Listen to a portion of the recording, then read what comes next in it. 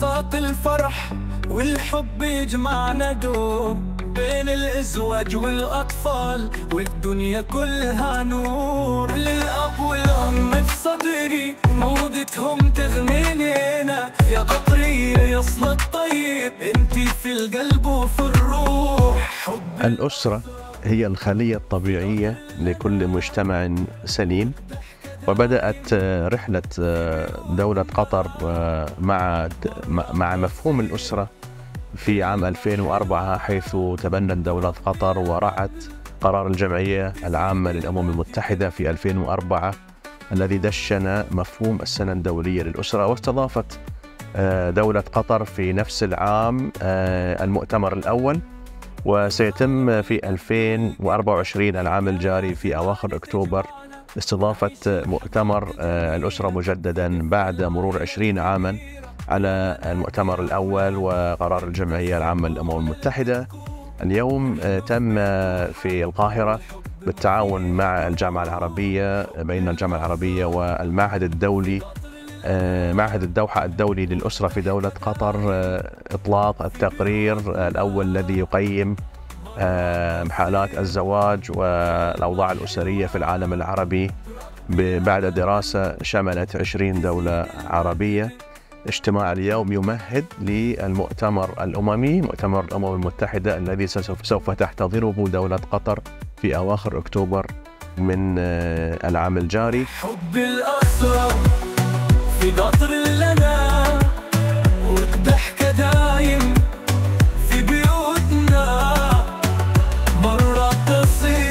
الدوحة دول الأسرة معني بالسياسات الأسرية آه، يقوم بعمل آه، دراسات آه، تنتج عنها سياسات توصيات آه، تترجم إلى سياسات. نناصر لهذه السياسات حتى ندعم التماسك الأسري للدول. مؤسسة آه، طبعا آه، معهد الدوحة دول الأسرة آه، جزء من آه، مؤسسة قطر للتربية والعلوم وتنمية المجتمع. آه، قمنا بعمل دراسات كثيرة على مستوى الدول العربية. نناصر لهذه آه، التجارب على المستوى الدولي ونركز أيضا على المستوى المحلي ل آه، آه، يعني تقديم سياسات للدولة ومن ثم آه، المناصرة لها حتى يتم آه، طبعا تبنيها واعتمادها في آه، الدولة.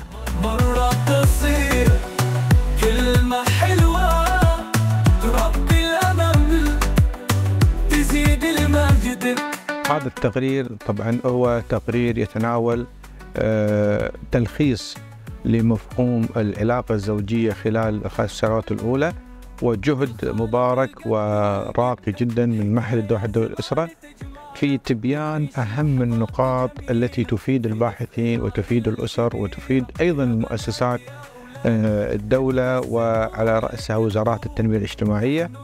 في آه، وضع سياسات آه، زواجية مستقبلية مدروسة بشكل دقيق لتفادى أي مشاكل آه، لا سمح الله في آه، مؤسسة الزواج. وإن كانت هذه المشاكل والصعوبات كانت موجودة لا حد يعني يقدر يعني يغفل عنها ولكن دور المعهد هنا أتى مميزا في توفير سبل وتقليل المسافات فيما بين الدول وأيضا آه، للأسرة نفسها مؤسسة الزواج نفسها بأنها تتفادى الكثير من المشاكل سمح الله التي قد تقع لهم في المستقبل.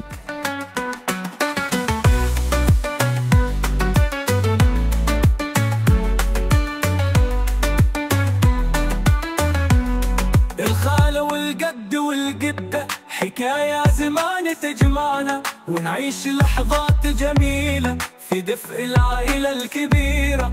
فعالية اليوم ما هي إلا جزء من محور التأثير السياساتي المبني على الأدلة العلمية. بمعنى أن آه، وجدنا أن هناك خلل في العلاقات الزوجية في المراحل الأولى للزواج وده نتاج آه، عمل بحثي قمنا به في 2019 أصدرنا كتاب عن حالة الزواج في العالم العربي.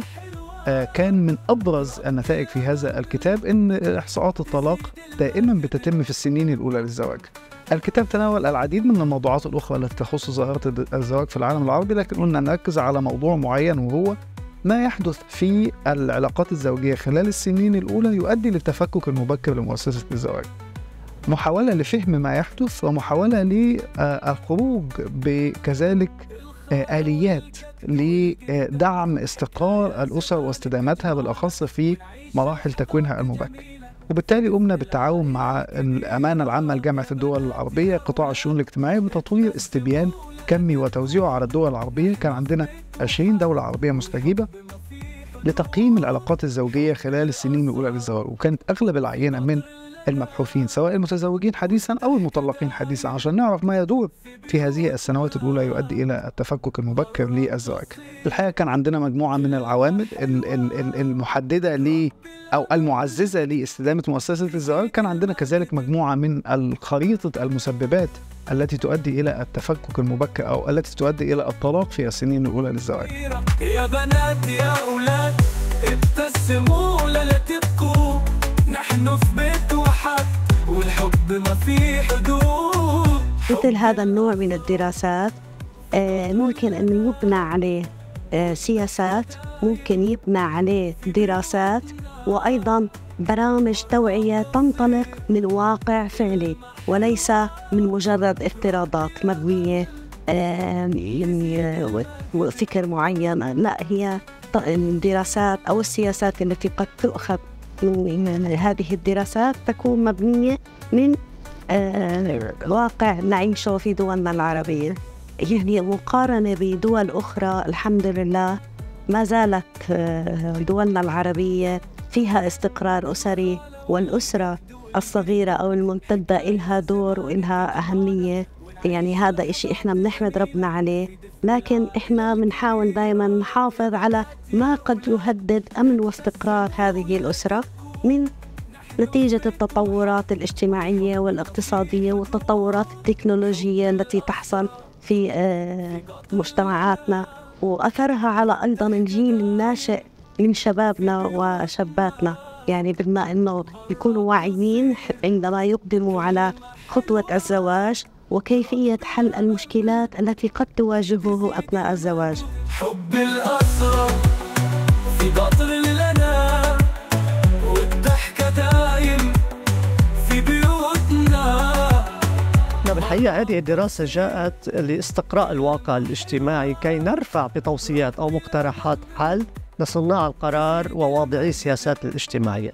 لأنه يعني تكون أنت دورك آه، دورك آه، استراتيجي من ناحية العمى من ناحية استقراء هذا الواقع بطرق آه، أكاديمية علمية بحثية ويكون المرحلة التالية على صناع القرار في الدوائر الحكومية كيفية الأخذ بهذه التوصيات وتنفيذها فعليا على الأرض. وبالحقيقة هذا يعني يجب أن يكون بشكل متكامل نظرا لما تواجهه الأسرة اليوم في مجتمعاتنا العربية من تحديات. تحدي تحدي الانفصال تحدي تحدي التفكك تحدي ما يفد إليها من الغرب من المجتمع الغربي آه، وبات يشكل قلق علينا ألا وهو قصة ال- ال- المثلية أو ال- العبور الجنسي. انتقال رغبة الأطفال بأن يكون لديهم هوية جندرية غير التي هي لديهم. هذا بدأت في الغرب وشرعت قانونا. هذا التحدي يحتم عليك أن تعود إلى الأسرة تعود إلى إلى مؤسستها بشكل آه، رصين بشكل بناء على آه، ما لديك من تراث. تراث اجتماعي تراث عقائدي تراث آه، له علاقة بالقيم. والأخلاقيات كي تبقى الأسرة في المجتمع العربي المصانع. مرة تصير كلمة حلوة تربي الأمل تزيد المجد. الشيء اللي آه، عمل عليه معهد آه، الدوحة آه، الدولي للأسرة حقيقة شيء آه، قيم ترفع له القبعة من حيث ال- الإجادة والإيجابية الدقة التوازن. آه، احترام الخلفية الثقافية للمجتمع الذي آه، يتوجه أو تتوجه إليه هذه الدراسة. الرؤية الواضحة لأنه آه، انطلق من دراسة سبقته في عام 2019 رصدت حال آه، الأسرة على الساحة العربية والآن آه، ال- ال- التقرير يرصد آه، حال ال- ال- الأسرة الجديدة التي لم آه، يمتد عمرها أكثر من خمس آه، سنوات للنظر في أهم التحديات التي تواجهها والعقبات التي تصنع آه، فيما بعد ما يسمى بظاهرة الطلاق المبكر. يلي هذا التقرير بكل تأكيد عمل على آه، آه، اقتراح برامج لتأهيل المقبلين على الزواج. وهذا ما خصص له اليوم الثاني من آه، من أيام المؤتمر بحيث يكون هناك ورشات يتم العصف الذهني واستخراج الخبرات ووضع الرؤى. ثم بعد ذلك يتم يعني التلاقي في الأفكار لصناعة أفضل برنامج ممكن أن يسهم ويساعد في ال- ال- ال- الحفاظ على آه، الأسر القائمة ويدعم الأسر القادمة. حب الأسرة في قطر لنا والضحكة طلعنا على تجارب آه، بأمانة جدا رائعة. يمكن الاستفادة منها وأيضا هم اطلعوا على تجربتنا في سلطنة عمان وكانت هناك إشادة ببعض المحاور المتخصصة فيها. آه، وكانت فرصة جدا رائعة لتبادل هذه الجوانب وهذه الخبرات في هذا المجال. والله هناك العديد من القيم المرتبطة بالأسرة العمانية ويمكن على رأسها موضوع التكافل الاجتماعي. ونحن الحمد لله لا زال هذه السمة وهذه القيمة آه، موجودة عند آه، جميع الأسر العمانية في جميع محافظات السلطنة آه، وأبرزها في آه، يعني الأشخاص المقبلين على الزواج يكون هناك تكافل في مساعدته ماديا وأيضا معنويا آه، في دخوله لهذه الحياة الزوجية. قد تكون هذه السمة الأبرز بالإضافة إلى أيضا بعض السمات والقيم الأخرى. الضحكة دايم في بيوتنا مرات تصير كلمة حلوة.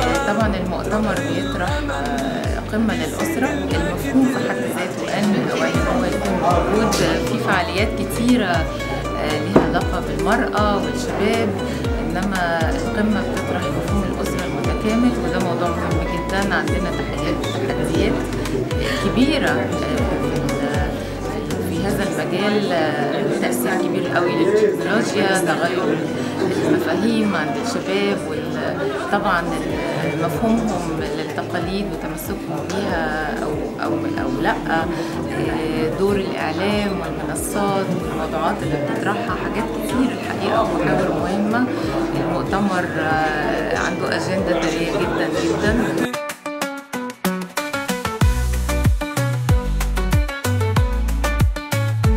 الهدف آه، الأقرب هو الآن الاستضافة ناجحة. للمؤتمر آه، الدولي للأسرة بالتعاون مع الأمم المتحدة وهو مؤتمر أممي صدر آه، آه، لانعقاده قرار من الجمعية العامة للأمم المتحدة ويتم أيضا العمل مع الجامعة العربية على التحضير الجيد لهذا المؤتمر ومع الدول الصديقة وهناك قرارات صدرت من الجامعة العربية حول ذلك وحول مفهوم آه، الأسرة والهدف هو أن نحافظ ونحمي أيضا مجتمعاتنا العربية آه، ومن من المفاهيم المغلوطة التي قد تعتري المفهوم السليم للأسرة بما لا يتوافق مع عاداتنا وتقاليدنا. آه، ونهدف أيضا إلى نشر ذلك عالميا والتوعية به وأثبتت الدراسات بأن الحفاظ على هذه المفاهيم هو حفاظ على القيم التي من خلالها يتم الحفاظ على المجتمع.